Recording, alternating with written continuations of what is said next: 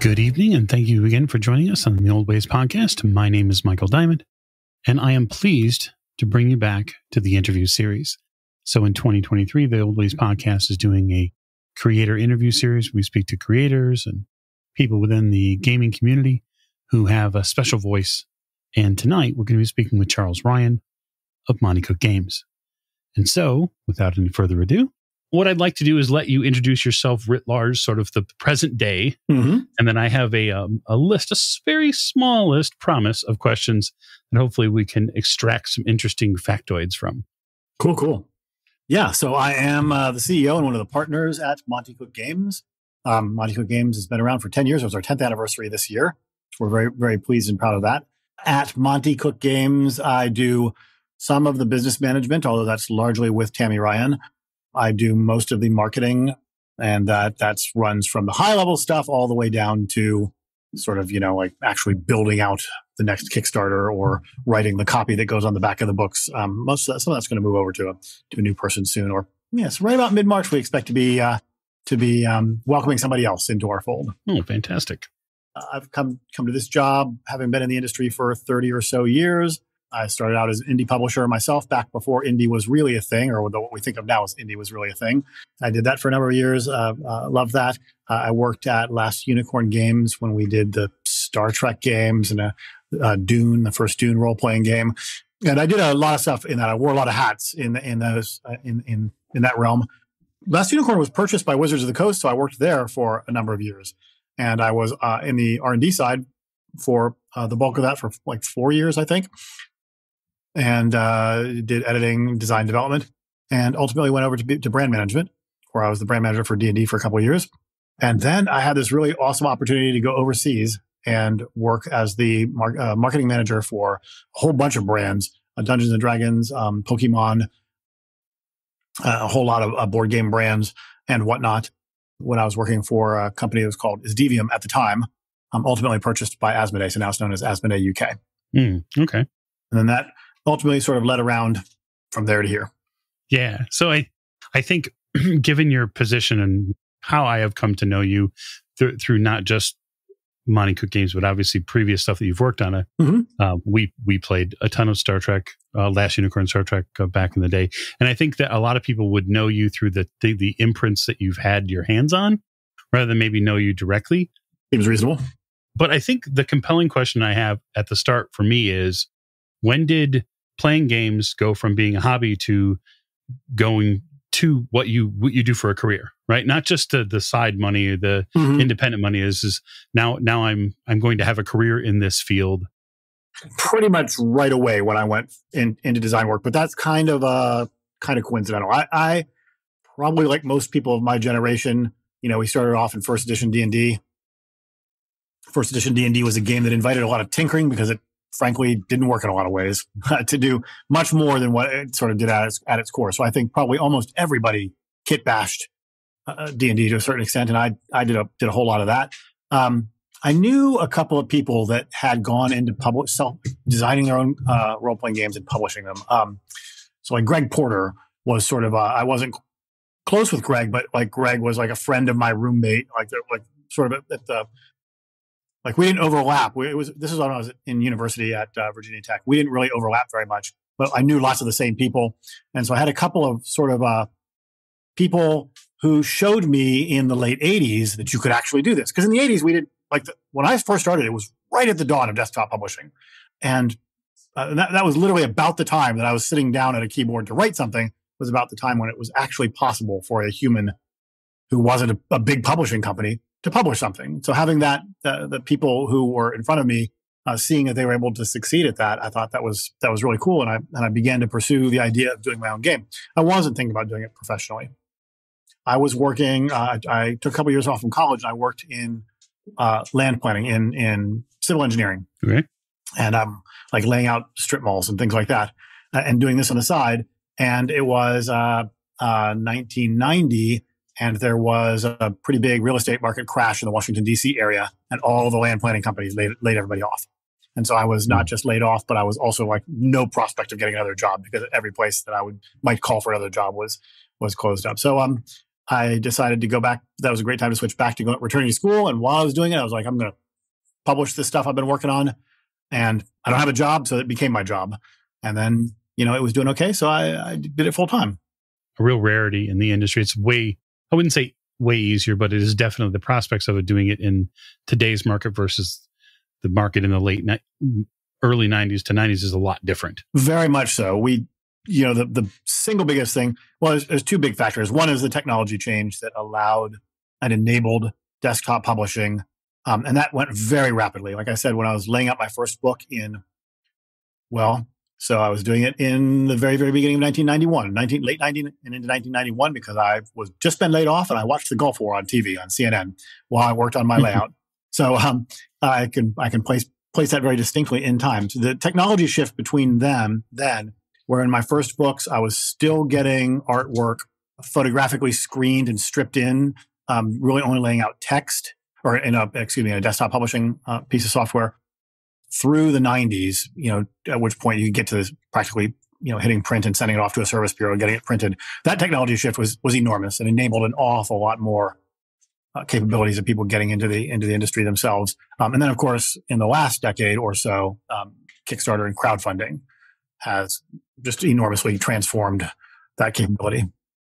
Well, I think it's a it's a pathway um, I've seen at least with a ton of MCG products that are, you know, not but five or so feet away from me now on my bookshelf. Mm-hmm. Most of them have been delivered to me in some form or another through crowdfunding, mm-hmm. right? So I think there's a huge empowerment that's been given uh, to the the players and the game masters in the uh, that that fill the tables mm-hmm. to say this is what we want to play, and it's. I think I remember the I remember the first Kickstarter for for Numenera and and all the st- stuff that went along with it. Just feeling like a tidal wave had broke. Right. When when some of those started to happen, right. and then it was just there's another one, and then there's another one, and and so I I think that for our audience that's going to listen to this, Monte Cook Games at large is is a name people know because of you know all of Monte's work from D and D mm-hmm. past, right? right? But in the past ten years, again, it's the ten year anniversary of Monte Cook Games. There's been a lot of new road that has been put out by him and by the entire cast therein of uh, of Monte Cook at large. Would you say? Yeah, I mean for sure. Like, and you know, we do a lot of crowdfunding because not just because it's a way to raise money, but also because it's a way to reach audiences. You know, the the traditional three tier, like you, you make a book, you sell it to a distributor, the distributor sells it to a hobby store before it goes to the consumer. That has an enormous number of gateways. And particularly there's, there's so much good stuff in our hobby um, and when you look at, at, board games, you're talking about as much stuff coming out in a month as used to come out in a year. And so much of it is good, really good stuff. It's right. just that, so that channel can only absorb so much.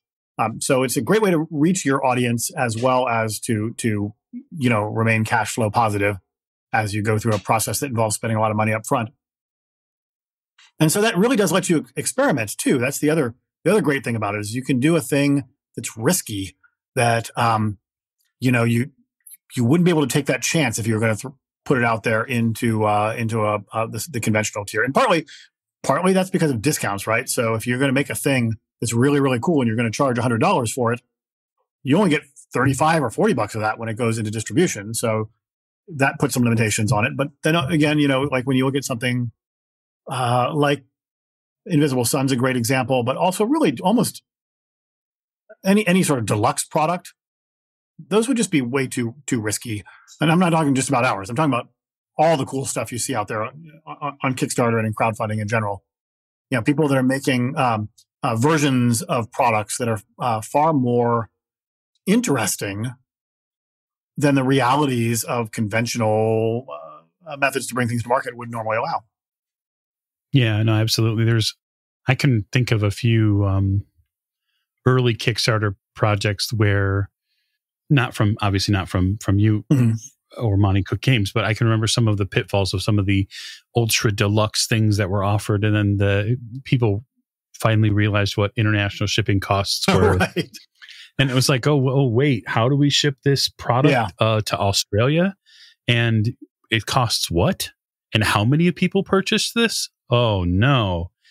I know a, um, it's actually a board game publisher, but there's somebody that, that I know where they They, they produce really high end, large games. And they had, you know, something that they did a, a, a million dollar Kickstarter on, you know, that uh, did a great game. Everything about it was wonderful. But then we had this freight crisis that we had last year where freight, freight went up enormously in cost. And they, you know, they had like a 250 or $280,000 increase, like above their budget for the cost of that freight. And, you know, that a million dollars sounds like a great Kickstarter, but a quarter of a million dollars going into, into that into unexpected freight costs is is just insane. You've been a part of some pretty amazing Kickstarters as far as totals go. Um, I know I helped, but well, thank you. I, I think that the allure therein is that, especially when a lot of them are grounded around the Cypher system and people understand what they're going to get in that, I think the buy-in for fans is easy. For for our audience who maybe has not played mm-hmm. a, enough or any Cypher system, can you give give me a generalized breakdown or give them a generalized breakdown of what the system truly is tailored to do? You know what I'm going to do right now? I'm going to go over here. I'm going to open my web browser off to the side, and I'm going to look at the text that I'm currently writing for a crowdfunding campaign that will be over by the time that people uh, listen to this. So the Cypher system is an RPG that is a is a generic or multi-system RPG. You can use it to run anything you like, and that's really what we love to say about it. It's it's any any campaign, any world, any genre. The Cypher system makes it really easy. It's very very easy uh, on the GM in the sense that um, the GM doesn't roll the dice. The GM's not doing math at the table. The GM's not figuring out difficult rules at the table. All of that, as much stuff, as much of the work as possible, is pushed out onto the players. So it distributes the workload a little bit and keeps the GM focused on making things fun and cool. When I look over here at my draft copy of the of the um, campaign that I'm that I'm building right now, like so, here are the sec- the section is literally called "Why this will be your new favorite RPG." So you can see why it's timely for your question. So you make a character with a three part sentence. Uh, a rugged warrior who stands like a bastion, or uh, a charming speaker who bears a halo of fire, or a graceful explorer who moves like the wind. And all those three parts, the uh, a blank blank who blanks, each one of those brings something uh, to your character mechanically. So you start with a narrative concept and build it into a mechanically uh, uh, sound uh, uh, character. Second reason, it is just so easy to run. Um, everything the GM does is on a scale of one to 10. So how hard is that on a scale of one to 10? If you can imagine how hard something is on a scale of one to 10, you can run the Cypher system. You can run any encounter on the fly. You can make stuff up. That's all you got to be able to do. There's obviously a lot of mechanics that, that hang off of that that allow you to do more to it than that, but that is the, the basic. It's, it is super, super easy on the GM.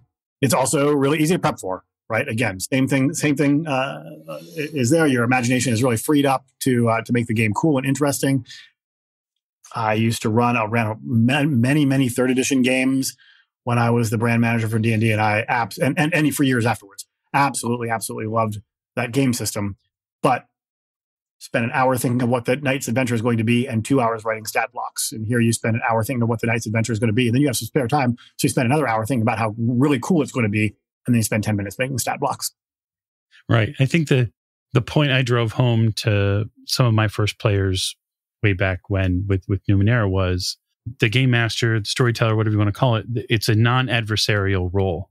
Right. And so I, I took away from that showing them, listen, we could we could play D and D, sure, and there's going to be um, a GM screen. I'm going to roll dice behind it. The difference is with the Cypher system, I I never used, I never needed. I mean, yes, the GM screen is there for reference, but mm-hmm. it, it's an open table, and the the give and take between the narrative control of the story, I think, is what so many people. It's so interesting too because so many of those games popped up three or four years after right. that numenera kickstarter. And i was like it's it's not the system per se. What it is people are getting to is we can share the narrative. It's okay. Right. It doesn't mean that you know there isn't a game master isn't some uh, who's a main storyteller. You're not giving that up. You're sharing it with them and that in, enriches the total experience. Mm-hmm. Mm-hmm. so I, I think that's one thing that the cypher system drives home pretty well.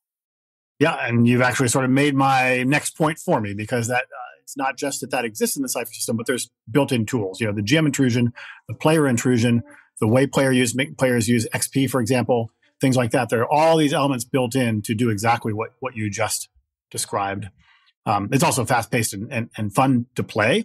um, you will probably play twice as many encounters in Ignite session as you play in that in, in the game that you're playing now, just because they will go quickly. They'll be they will be high energy, high speed, but all those like you know whatever 45 second or 90 second periods between actions when people are working out mechanics those that all get stripped away and it's just the one thing happens after the other. Yeah surprisingly so. So speaking of monte cook games how's it changed in 10 years? Oh that's a great question. So um you know I don't want to put words in anybody else's mouth, but I think that when Monte and Shauna, who founded the company, ran that first Numenera Kickstarter that you mentioned, they were just, you know, they were independent creators who had this great idea that they wanted to bring to life. And I don't think that they had in mind to, to build a big company, but that Kickstarter did really well and it generated a whole bunch of different books. And they hired, um, they needed help. Like after six months in, they're like, you know what? We just need some more than just the two of us doing this.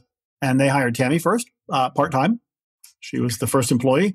Um, I, I came on second. Uh, and uh, then, you know, by the time the first year or so was out, probably more than a little bit more than that. But uh, we had Bruce on and and Bear, and so we have uh, about a dozen. Um, we have our uh, little warehouse that we ship out of. Um, we have some we call them team labor labor force. We have a, a, a nice uh, group of kids that uh, come in in the afternoons and ship out all your packages and, and whatnot. And they do a great job. I would say the biggest thing that the biggest change is is the people that we've got now with a dozen people. Now that said, we're small. We like being small We don't have aspirations of becoming some big company in a big glass building. Nobody wants that. Um, um, we kind of love where it is. And um, we still are very, very focused on making the games that we want made and that we want to play. So we never sit down and say, you know, well, what new books can we make for Numenera? Because Numenera hasn't had some new books. So, you know, how do we think up some new things that people might buy?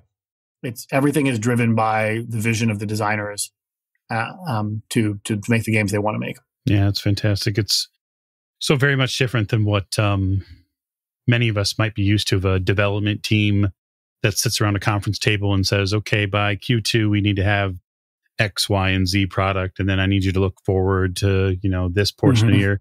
Where it feels like there's a, a constant, steady drumbeat because the products. I mean, the products must be made, and I, I mm-hmm. can't tell you how many second and third edition books that just I mean, I use I use D and D as an example because it is the most relevant example of the time period. But mm-hmm. they just come out with books. They oh here's I, just here's another book, yeah. and uh, it seems to be like so sort of a, a self fulfilling thing. And I I think that our last interviewee, Matthew Dawkins, raised a great point, which is that some of the community uh, creations are actually, I mean, re- in, much better than what they're seeing come out of the the actual brand house. And I think that that is right. telling.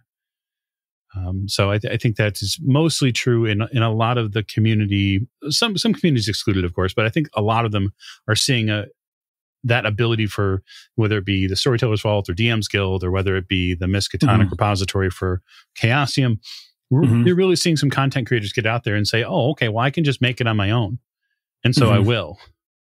Right. Um, so uh, so that's been it's been a good time uh, seeing that stuff come out um, and not having to necessarily go and pray at the altar of you know uh, Wizards of the Coast and hope that your product comes out. You know, even even setting aside whether or not some companies sort of become mills for their product or whatnot, which which isn't really what, what I'm going after. But even even setting that aside, the mere fact of opening something up and sort of saying to an entire world of people who are using their imagination in the space of your game on a daily or weekly basis to, you know, come up with ideas, come up with cool stuff that we might not just never have come up with or just don't have time to put on a schedule or what have you. You're, you're going to get great things. And, and so all those programs that you mentioned, I think are, are examples of how the, you know, the game can benefit from, you know, from everybody's mind coming in and, and, and everybody's creativity. And you'll, you'll get some dross for sure. You'll get, maybe get a lot of dross, but you also get, so you'll get some gold and some diamonds in there. And um, we just this past year opened up Cypher System, um, uh, Cypher System open license, which uh, basically lets people do what they want in the Cypher System. And some pretty cool things are in the pipeline uh, as a result of that, small and big. So we're excited about that. Oh, good, good. No, that's fantastic.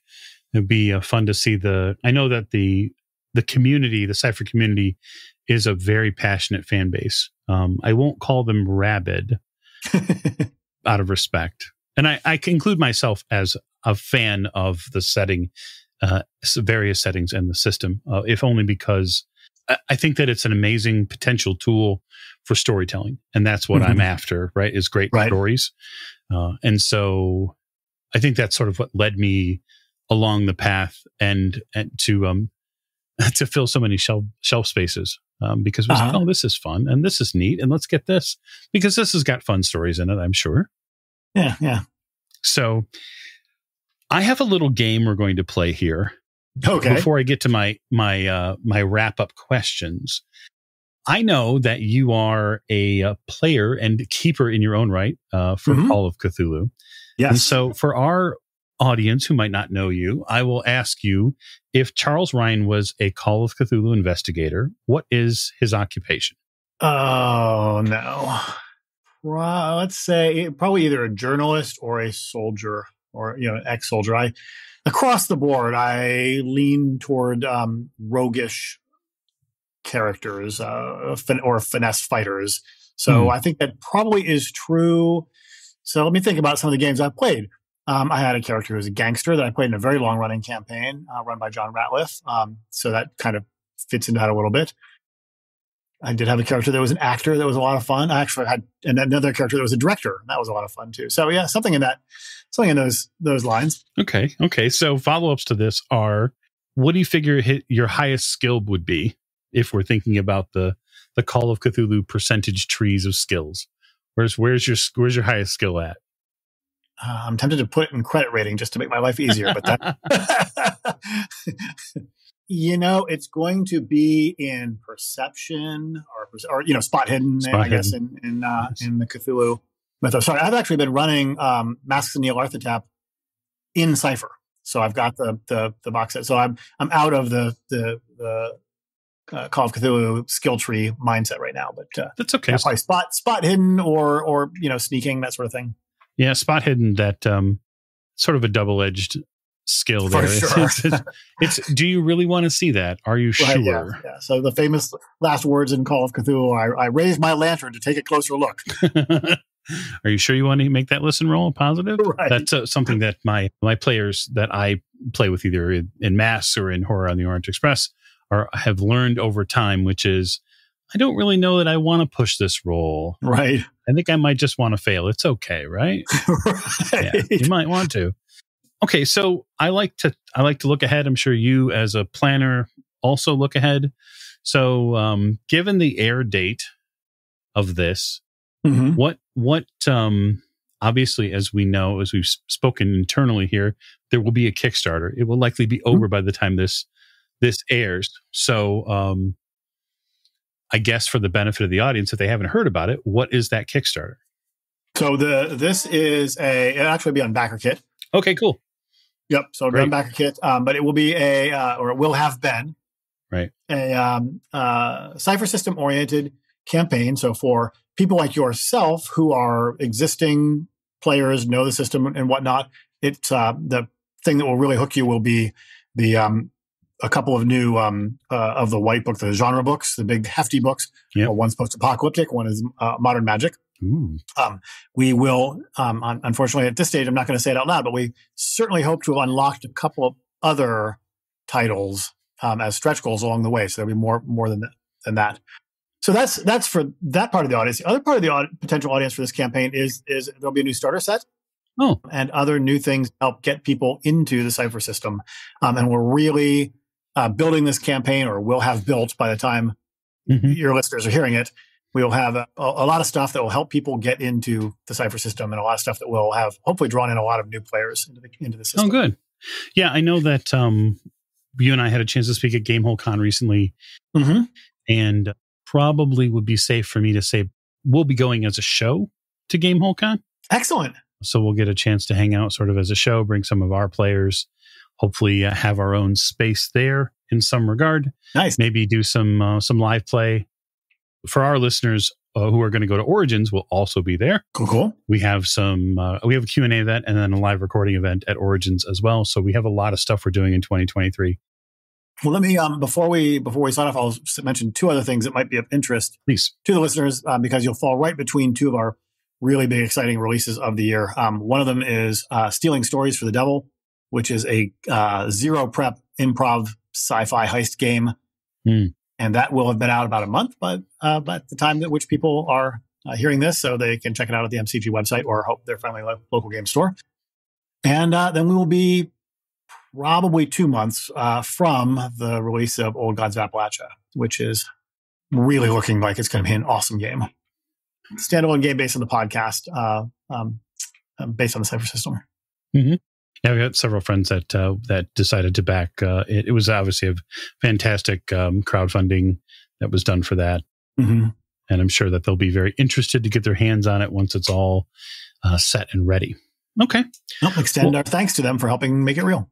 yeah, absolutely. Uh, so I want to thank you for your time tonight, and uh, hopefully we have um, hopefully we've got, we have some Cypher stuff on the show soon. It's uh, 2023 is going to be a, uh, a a year of flexibility for us. Mm-hmm. and uh, we'd love to play some uh, some Cypher system on the show. I have a, a couple of ideas. I can see right here between my two monitors. I can see just staring at me on the shelf are um, Stay Alive, Excellent. and uh, we're all mad here.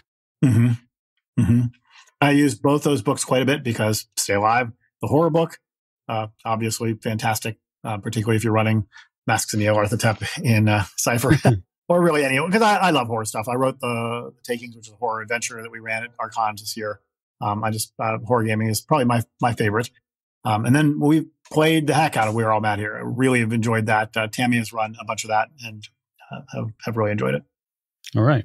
Well, thank you again, and uh, I look forward to seeing you out there. Yes, indeed. Great to see you. Uh, and great talking to you. I guess last we spoke, as you said, at, at GameholeCon. And then I, I, prior to that, it was like, I don't know, two years or something stupid. Yeah, the the business of losing a few years because of a pandemic that, Right. that'll that'll hamper uh, travel and whatnot. But uh, uh, hopefully, in 2023, we'll have a little bit of a safer environment to operate in, and um, I'll see you much more.